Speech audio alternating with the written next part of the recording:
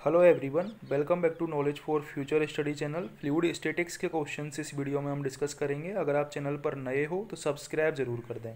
पहला क्वेश्चन है the unit of surface tension is surface tension की यूनिट होती है energy per unit area B option correct है। इसको हम ऐसे भी बोल सकते हैं फोर्स पर यूनिट लेंथ ये भी होती है सरफेस टेंशन की यूनिट तो दोनों ऑप्शन करेक्ट हैं। बी करेक्ट हो जाएगा यहाँ पर।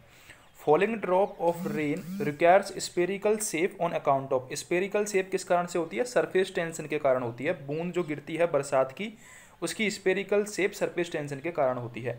Differential manometers are used to measure ये काम में आते हैं डिफरेंस मीजर करने के लिए प्रेशर का। Difference of pressure between any two points point of application of the total pressure on the surface is known as correct answer है centre of pressure B option correct है। If cohesion is greater than adhesion then यदि cohesion adhesion से ज़्यादा है तो depression होगा। तो क्या होगा? डिप्रेशन होगा। कोइजन का मतलब है, जब दो एक ही, जैसे कि बाटर है तो दोनों बाटर के मॉलिक्यूल आपस में चिपक रहे हो अट्रैक्ट हो रहे हो तो उसको कोइजन बोलेंगे, ठीक है? अगला क्वेश्चन है capillary is due to capillary किस कारण से होती है? वो होती है बोथ कोइजन एंड एडहेजन दोनों के कारण होती है capillary The position of center of pressure on a plane surface immersed vertically in static mass of fluid is always below the center of gravity. जो position of centre of pressure है on a plane surface immersed vertically in this static mass always होगी centre of gravity से below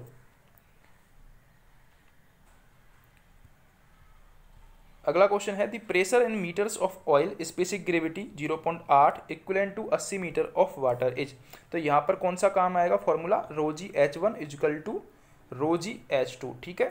यहाँ पर रो दोनों का अलग अलग दे रखा है। एक जो दे रखा है ऑयल उसका 0.8 दे रखा है। जी से जी कट जाएगा। तो 0.8 पॉइंट आठ into h one equal to g water का रो क्या होता है? वन इंटू एच टू कितना दे रखा है? अस्सी, ठीक है? तो यहाँ से एच वन हमारे पास निकल के आ जाएगा। The atmospheric pressure head is atmospheric pressure head कितना होता है? सात सौ साठ M M of H G B option correct है। The rise of liquid in manometers give the जो राइज ऑफ़ लिक्विड होता है, वो pressure head at that point देता है। Rise of liquid in manometers give the pressure head at that point the distance of centre of pressure from the surface of liquid is independent of the density of liquid जो distance है centre of pressure की, वो independent independent होती है density of liquid से, ठीक है? अगला क्वेश्चन क्या दे रखा है हमारा? A vertical triangular area with vertex downward and altitude h vertical triangular area दे रखा है तो इसका मैंने बताया था सेंटर ऑफ़ प्रेशर क्या होता है? सेंटर ऑफ़ प्रेशर होता है एच वाई टू यानी कि सी ऑप्शन करेक्ट हो जाएगा। एक बार बराबर क्या होता है? एक बार बराबर होता है ten to the power five newton per metre square D option correct होगा। The pressure or intensity of pressure at a point in a static fluid is equal in all direction. ये किसने बोला था? ये पास्कल सिलो ने बोला था कि जो प्रेशर होता है वो ऑल डायरेक्शन में इक्वल होता है। The pressure which is measured with reference to absolute zero pressure absolute zero pressure के रेफरेंस में जो प्रेशर मेजर किया जाता है, उसको एब्सल्यूट प्रेशर बोला जाता है। बी ऑप्शन करेक्ट होगा यहाँ पर। अगला क्वेश्चन है pressure of a liquid measured with the help of piezometer tube piezometer की ट्यूब की हेल्प की सतह से गॉज प्रेशर मीजर करते हैं।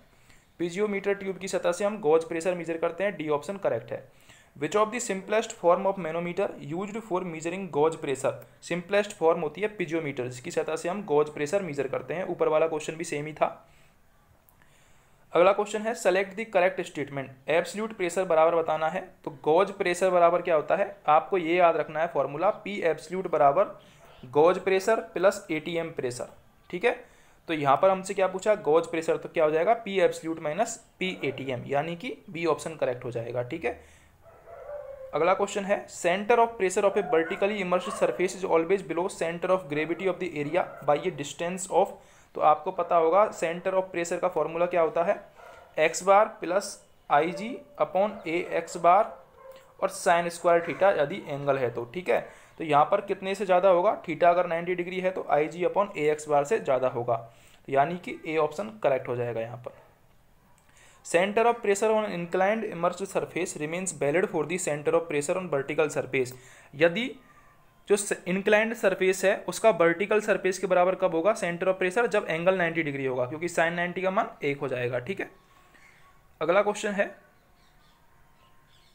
the formula for centre of pressure for a vertical immerse surface is given by vertical immerse surface के लिए जो फॉर्मूला होता है, वो होता है I G upon x bar plus x bar B option correct है।